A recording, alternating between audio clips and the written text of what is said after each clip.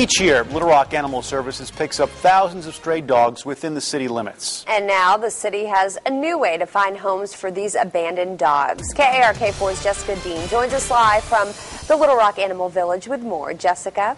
Good evening to you. This is Salsa. She's one of thousands of dogs picked up by Little Rock Animal Services each year, and it's impossible for them to find homes for all of these dogs. But the good news is they found some homes, but they're out of the state. So tomorrow, Salsa and 17 of her pals are going to board a bus bound for Michigan. It is called the uh, Rescue Waggin', and it is going to take these dogs out of Little Rock and into Michigan. It'll be the fourth trip in as many months for the city of Little Rock. And the dogs are taken into a shelter in Michigan because that state, like many other northern states, has very strict spay and neuter laws. Fewer stray dogs there means these dogs are more likely to be adopted. Here in Little Rock, the law requires only cats and pit bulls be spayed or neutered.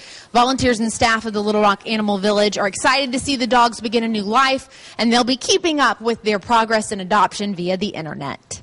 They will get to Michigan uh, on Friday. So Friday we'll be able to see them go up on their website. A lot of times they use the same pictures that we sent them with, and uh, then you start seeing them drop off once they've been adopted. It is exciting to, to know that they're going to have a new life, and you can always come out to the Little Rock Animal Village. They're hoping to send more dogs as time progresses. They're hoping to send their 100th dog next month. Live in Little Rock, Jessica Dean, KARK 4 News. And it looks like Salsa would like to go home with you, Jessica. I know. I would like to take her home too, but I don't know how that would go if I took her home. like we were saying, too. I might meet, meet some resistance, but I mean, look at this face. How can you resist? Like we said earlier, it's a very mild salsa. That's right. All right, Jessica, thanks very much. All right.